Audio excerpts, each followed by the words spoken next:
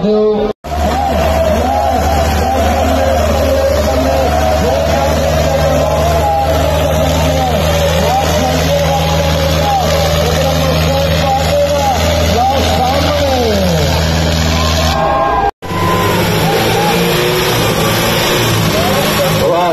ਭਾਜੀ, ਬਸ ਕਰੋ ਸ਼ੋ ਮੈਂ ਤੇ ਬਸ ਕਰੋ।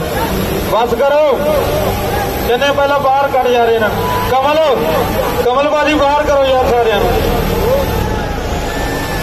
ਕੋਲੀ ਬਾਜੀ ਉੱਧਰ ਪੈ ਜਾ ਮੇਰਾ ਭਰਾ ਨਹੀਂ ਮੇਰਾ ਉਧਰ ਬੈ ਜਾ। ਆਪਾਂ ਉੱਧਰ ਬੈ ਜੀ।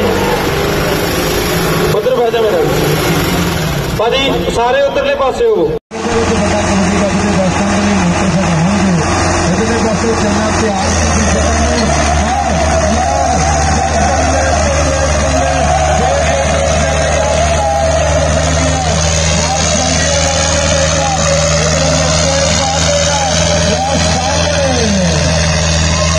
ਮੁਕਾਬਲੇ ਦੇ ਵਿੱਚ 11000 ਦੇ ਨਾਲ ਸਨਮਾਨ ਹੋਣਾ ਹੈ। ਬਹੁਤ ਬਹੁਤ ਧੰਨਵਾਦ। ਗੁਰਜੀਤ ਬਾਜੀ ਦਾ ਬਹੁਤ ਬਹੁਤ ਧੰਨਵਾਦ ਜਿਹੜੇ ਸਾਡੇ ਪ੍ਰਧਾਨ ਸਾਹਿਬ ਪੁੱਜੇ ਆ। ਢੋਲੀ ਜੀ।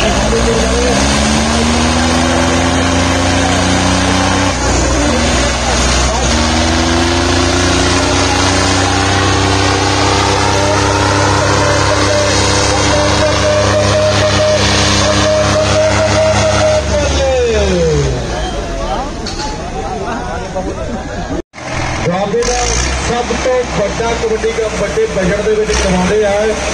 ਜਤਿੰਦਰ ਚਾਰ ਸਾਹਿਬ ਪੁੱਜੇ ਆ ਇਸ ਤਸਵੀਰ ਦਾ ਵੱਡਾ ਧੰਨਵਾਦ।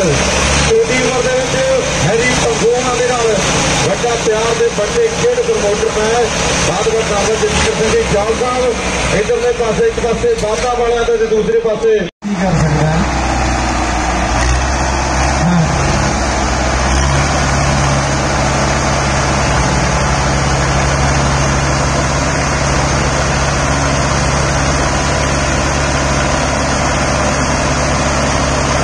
ਵਾਦੀ ਦਾ ਮੁਕਾਬਲੇ ਦੀ ਸ਼ੁਰੂਆਤ ਹੋਣ ਜਾ ਰਹੀ ਹੈ ਇਧਰਲੇ ਪਾਸੇ।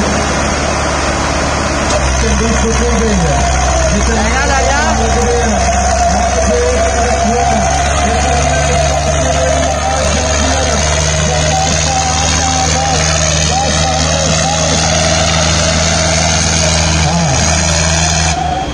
ਤਾੜੀਆਂ ਮਾਰ ਹੈਰੀ ਪੰਗੋੜਾ ਦਾ ਬਹੁਤ ਬਹੁਤ ਧੰਨਵਾਦ ਅੱਜ ਕਹਿੰਦੇ ਦੁਆਬੇ ਦੀਆਂ ਉਹ ਤਸਵੀਰਾਂ ਹੁੰਦੀਆਂ ਨੇ ਇਹਨਾਂ ਦਾ ਦੇਣਾ ਨਹੀਂ ਦੇ ਸਕਦੇ।